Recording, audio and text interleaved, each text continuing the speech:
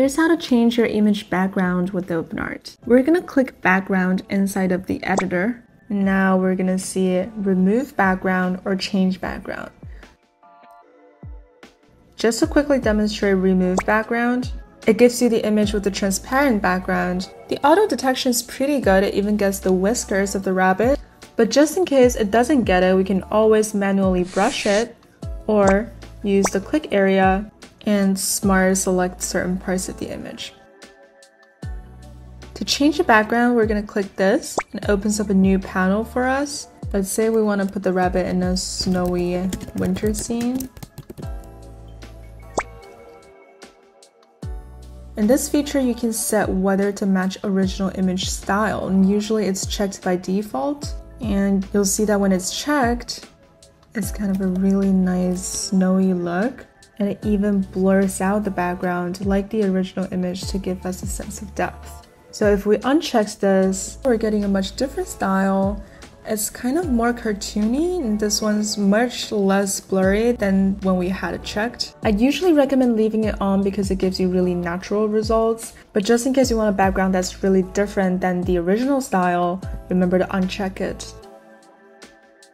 Another trick I like to do is to leave another create tab open and I'm gonna just paste in this background prompt. Click enhance prompt, quick enhance. It writes me something much more elaborate within a second and now I can use this prompt for the background instead.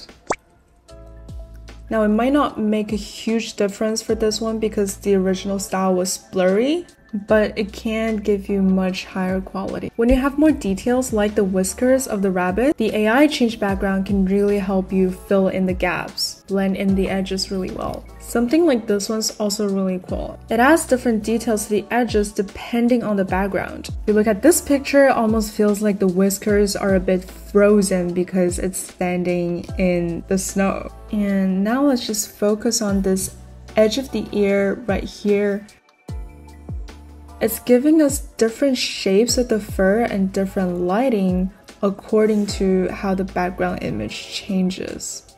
I think that's just amazing.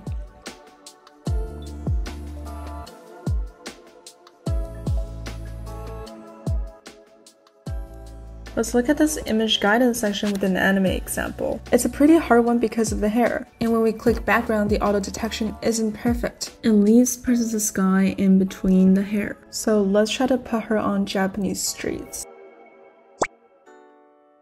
And here's what we're getting. I think these are actually really good. It puts up these lanterns and neon signs to match up with this golden hour lighting on her hair. But let's say I want a more cyberpunk style of Japanese streets, kind of like this. Then I can drop this in the image guidance and go from there. Now it's taking in these elements from my reference picture. These parts are a bit tricky. Sometimes it would be less ideal, but if you generate more, you would definitely get a lot that are natural like this. Thanks for watching. Don't forget to like, comment, and subscribe for more videos. I put all useful links under the video in the description. And don't forget to check out OpenArt. Have fun creating.